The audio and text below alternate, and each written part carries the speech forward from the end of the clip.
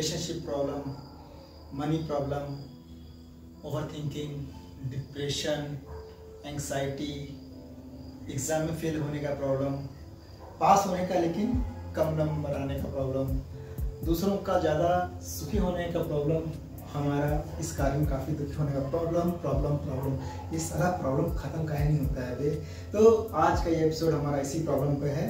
नमस्कार, मैं हूँ Sandeep and let's get started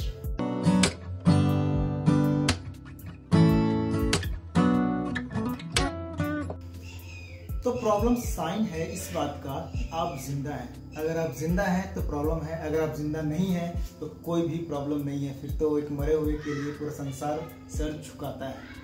तो प्रॉब्लम किसको नहीं है? स्टार्ट करते हैं बेरोजगारी से। जो बेरोजगार हैं, उनको क्या प्रॉब्लम है? उनको ये प्रॉब्लम है कि उनके पास जॉब नहीं है। अच्छा जॉब नहीं यानी सुखी कौन है? जिनके पास नौकरी है। चलिए नौकरी वाले के पास चलते हैं। अब वो बोलेंगे, यार, ये मेरी मनपसंद नौकरी नहीं है। हर सोमवार मुझे उठना पड़ता है। उसके बाद जो है, मुझे इंतज़ार रहता है वीकेंड का। तो वो अलग दुखी हैं। क्यों? क्योंकि उन्हें लगता है कि उनके जो बॉस हैं, वो उनसे अच्छा कमा रहे हैं। वो उनसे ज़्यादा जो है मज़े ले रहे हैं, एफर्ट कम लगा रहे हैं, पैसे ज़्यादा उठा रहे हैं। तो क्या समस्या यही है? नहीं नहीं नहीं। अभी हम बॉस के पास चलते हैं ना। बॉस के पास तो अलग ही समस्या है। बिज़नेस चले, ना चले, उनको हर किसी को जो है पेमेंट करनी है। किस्तें देनी है, किराया भरना है।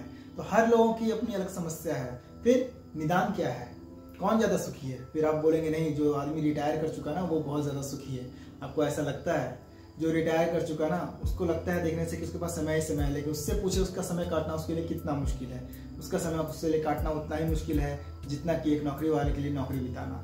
तो उसको ऐसा लगता है कि उसके परिवार उसको उसका समय नहीं दे रहे हैं उसके पास इतना वक्त है, लेकिन किसी के पास वक्त नहीं, उनके साथ वक्त बिताने का।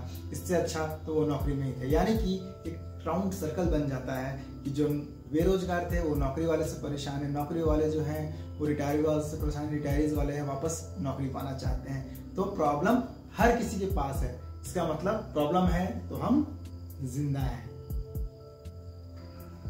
अब आप पूछेंगे इस समस्या का जो है वो निदान क्या है? अगर प्रॉब्लम ही प्रॉब्लम है तो सॉल्यूशन क्या है? सॉल्यूशन है। हर एक ताला बिना चाबी के नहीं बनता है।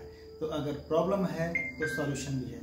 जानते हैं, जितना सफल लोग आप देखेंगे ना, हर सफल लोगों के पास अलग अलग समस्याएँ हैं और वो उनसे जूझ रहे हैं। पर आपको याद रखना है कि हर रात के बाद एक सुबह होती है। समस्या अगर बहुत जटिल है तो उसका जो सॉल्यूशन है वो भी उसके आसपास ही होगा और उतना ही सरल होगा। यानी जितनी जटिल समस्या उतना ही सरल उसका सॉल्यूशन उसके आसपास ही रहता है पर आपको बस उससे ढूँढने की ज़रूरत है। और हाँ समस्या जो होती है ना वो कहीं ना कहीं आपको ना एक तरह से आ, कुछ ना कुछ उसके अंदर एक अच्छा चीज़ छुपा होता है जिसे आपको परखना होता है बहुत ध्यान से देखना होता है तब आपको उसके अंदर गुड़ उसका फ़ायदा नज़र आएगा। लेकिन आप खुली आँखों से देखेंगे तो वो नहीं आएगा। आपको मन शांत करके ध्यान से सोचना पड़ेगा कि ये समस्या मेरे लिए क्या अच्छा चीज़ लेके आई है। और जब आप उसके बारे में सोचेंगे, तभी जो है आप उसे समझ पाएँगे। तो इसके लिए मैं आपको पाँच प्रिंसिपल्स बताता हूँ। सबसे पहली बात, अपनी जो भी प्रॉब्लम्स होती है ना, उसे आप बढ़ा चढ़ा के किसी को ना बताएँ। क्यों?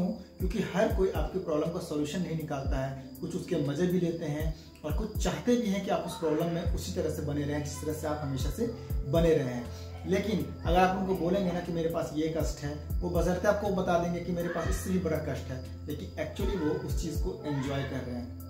इस चीज़ को आपको समझना पड़ेगा। और हाँ जहाँ ज़रूरत पड़े ना, वहाँ आपको उसका सोल्यूशन भी ढूंढना चाहिए। क्यों? मदद भी मांगनी चाहिए। ईगो को एक साइड करके आपको मदद ज़रूर मांगनी चाहिए। श्री राम ने भी जो है, सुग्रीव से मदद ली थी सीता जी को ढूँढने के लिए। तो इसमें कोई आप नीचे नहीं गिर जाएँगे। अगर आपको ऐसा लगता है कि आप अपनी ईगो को साइड करके किसी से मदद लेकर उस प्रॉब्लम का सोल्यूशन निकाल सकते हैं तो ज़रूर निकालिए। दूसरी चीज़, जब आपकी प्रॉब्लम आती है ना तो आपको बैठ नहीं जाना है कि ये अपने आप हल हो जाएगा, क्योंकि समस्या खुद से कभी भी हल नहीं होती है। समस्या तभी हल होती है जब आप उसका हल निकालना चाहते हैं। उसका हल निकालने के लिए आपको हर तरह के प्रयास करने पड़ेंगे।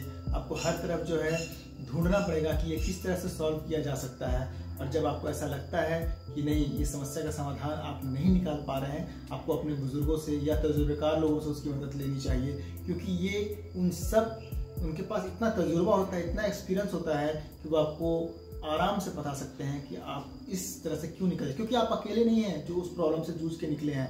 संसार में जो भी व्यक्ति आया है ना प्रॉब्लम से जूझते हुए ही यहाँ तक पहुँचा है और तब जा के वो बुढ़ापे की ओर अग्रसर होता है। तो बस आपके लिए ये नया है क्योंकि आपके लिए ये पहली बार है। लेकिन आप जान जाइए कि जो जो भी प्रॉब्लम आप देख रहे हैं, हर किसी के जीवन में आता है। उसका कोई ना कोई, कहीं ना कहीं कुछ ना कुछ सॉल्यूशन ज़रूर छुपा होता है। बस ज़रूरत है एक बार आप उसे ढूंढ निकालिए। अब आपको ये जानने की ज़रूरत है कि हर प्रॉब्लम का एक फिक्स स्पैन होता है, यानी एक एक तय समय होता है, उसके बाद वो प्रॉब्लम खत्म हो जाती है। आप देखेंगे कोई दुखी हमेशा नहीं रहता है, कोई सुखी हमेशा नहीं रहता है। ऐसा नहीं है कि आज आपका दुख की सीमा इतना है तो यहीं पर रह जाइएगा, वो नीचे भी आएगा।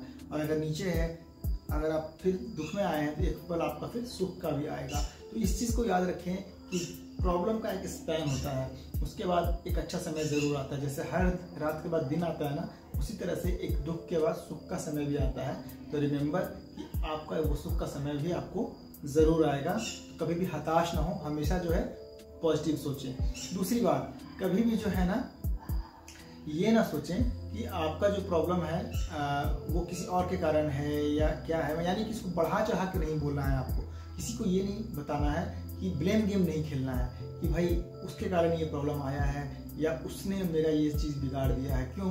प्रॉब्लम जब भी आती है ना, आपको ही उसका निष्कर्ष निकालना पड़ता है। किसी के ऊपर ब्लेम डाल देने से प्रॉब्लम कहीं दूर नहीं चला जाता है। तो हर एक प्रॉब्लम को सॉल्व करने के लिए सबसे पहले ब्लेम गेम गेम खेलना बंद करेंगे और उसके बाद जो है उसका हम निष्कर्ष निकालेंगे। तो घटना का घटना हमारे हाथ में नहीं होता है, लेकिन हाँ उसको रिस्पॉन्सिबिली जो है संभालना हमारे हाथ में होता है। तो learn to manage problems not to depend over the problems अगर हम प्रॉब्लम्स को प्रॉब्लम्स की तरह देखेंगे तो उसका सोल्यूशन निकलेगा जैसे हर मैथमेटिक्स में हर एक प्रॉब्लम का सोल्यूशन होता है, वैसे लाइफ में भी हर एक प्रॉब्लम का सोल्यूशन होता है। बस अगर हम ये पॉजिटिव एटीट्यूड रखेंगे तो प्रॉब्लम्स दूर भाग जाएगी हम लोगों से, और सॉल्यूशन आराम से हमारे पास आ जाएगा। इस चीज़ का ख्याल रखें वीडियो हो सकती है छो, छोटी लगे लेकिन बहुत काम की वीडियो है। हाँ देहरादून के बाद अब मैं पुणे आ चुका हूँ और हम यहाँ से जो है वीडियो का विस्तार करेंगे धीरे धीरे और भी वीडियोस आएँगी। आप लोगों का तहे दिल से शुक्रिया कि आप लोगों ने जो है इतने दिन तक जो है सपोर्ट किया। और याद रखिए गौतम बुद्ध का प्रकाश हमेशा हमारे ऊपर इसी तरह से पड़ता रहेगा। हम सब के ऊपर और उनकी कृपा हम सब पे इसी तरह बरसते रहेगी। मिलते हैं नेक्स्ट वीडियो में तब तक के लिए नमस्कार।